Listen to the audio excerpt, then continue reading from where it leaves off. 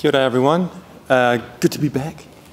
Um, I'll be uh, talking to you about um, some of the findings that we came across uh, with a discrete pilot project around iBeacons. And as a disclaimer before I really get into it, is uh, many of those challenges that we um, encountered have already been encountered by other people dealing with this technology as well. And um, some of the issues that we were um, struggling with have already been solved in the interim. But um, we started a year ago, and at that time, uh, things weren't just quite as far as they are yet uh, now. And so it's probably worthwhile noting that stuff's evolving, evolving so fast, and the landscape of it is changing so quickly that whatever you're putting into place uh, needs to allow for rapid iteration as the technology matures and new standards emerge. So on that uh, disclaimer, what are iBeacons? iBeacons um, are what it says. They're little small, low-powered transmitters helping smartphones determine their precise position, proximity, or context. So they look, there's, there's variable, uh, you know, various flavors of them, but they look a bit like this. Small little things that you can stick to an object or a display case or whatever you else uh, fancy, and then you have a phone that has an app that can read the signals that this thing emits, and as I get closer to it, it can, my phone can do something. So it can, you know, buzz or bring up a piece of content, play back a piece of audio, and that's all it does really. It's, it's really just telling the phone, hey, you're close to me, do something about it, sort of thing.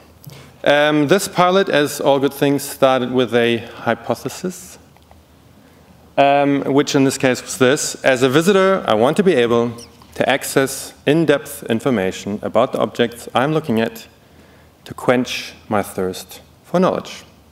That's a pretty generic statement. Uh, I'm very aware of that. But uh, what we wanted to, um, to do is, is uh, try and figure out whether this technology, proximity awareness uh, combined with mobile devices, could help deliver on this need. So what we did is we um, put 12 of these beacons up in uh, one of our galleries, um, invisible to the public. So we just stuck them under the, the uh, um, display cases or behind the objects. And then we had a customized version of the MyTours app to serve up content as you would get closer to the beacons. And um, then we just kind of went for it and uh, tried it out and learned a few things. So um, with the things that we've learned, so we've tested with a very small sample group, and we're not quite done with the pilot yet either, so um, we will go through a bit more user testing as um, we wrap this up. But in terms of the things that we have learned, I can already tell you now, uh, herding or working with beacons is a bit like herding cats, vanishing cats, for that matter, because um, they do get lost. They all look the same on, uh, on, on, the, uh, on the outside, so it's really hard to tell once you have a pile of them lying around which object uh, they, they belong to. Um, and um, the adhesive isn't as strong as it says, so they fall off, and visitors are attracted to little technology looking like thingies, so they take them and they're gone. Um, display team moves them because they don't know what they are and they haven't been briefed on the pilot. they get bricked because the firmware upgrade through the app just didn't quite work that well. Um, so we ended up with three uh, lost beacons to date, and it might be more by now, who knows.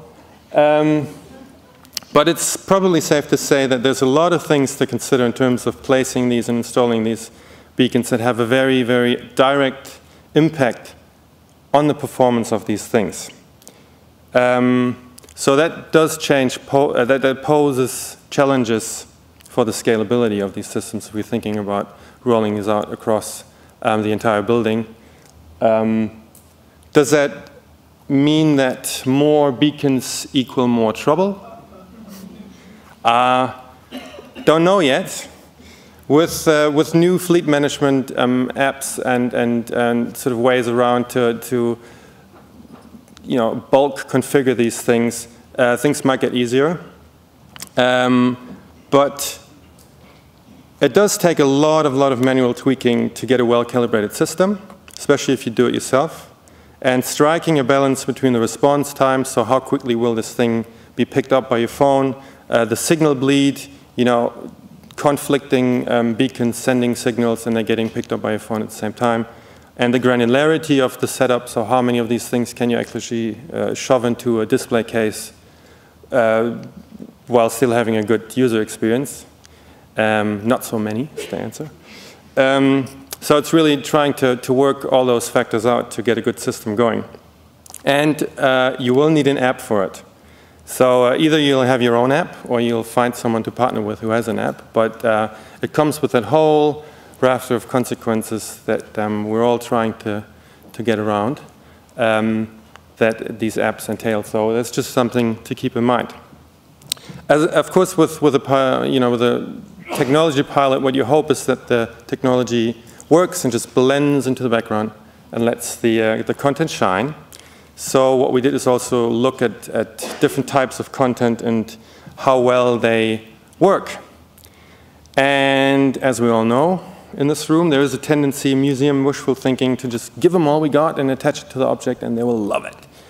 Uh, but what we found is that flooding already overwhelmed visitors with dense museum content doesn't necessarily work that well. So if you give them a longish blog on the giant MOA, chances are that they're just going to read the heading and then they're going to go and, and look for the next beacon to scan and that's it.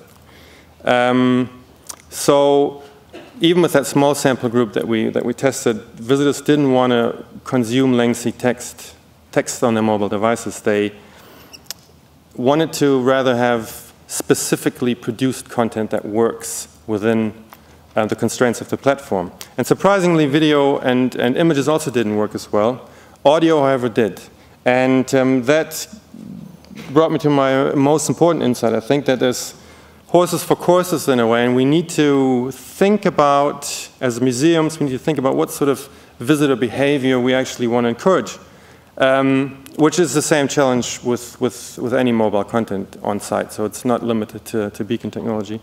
But we don't want to get into the way of the museum experience that visitors come to us for in the first place. So there's an, an inherent risk to zap visitors out of their immersive experience uh, and, and pushing them into sort of a digital tunnel that takes them away from the real. And that's just something that we need to be aware of. And uh, that means acknowledging that there's multiple stages to a visitor journey that might be more suitable to, um, to serve up richer content. So maybe while they're in the galleries, they don't want to read the lengthy text, but after their visit, when they're kind of winding down in the, in the museum cafe, they might. And that's just something to keep in mind. So if we go back to uh, that initial hypothesis, I've practiced this word a lot hypothesis, hypothesis, hypothesis. Uh, I would like to change this um, to something more along the lines of this hypothesis.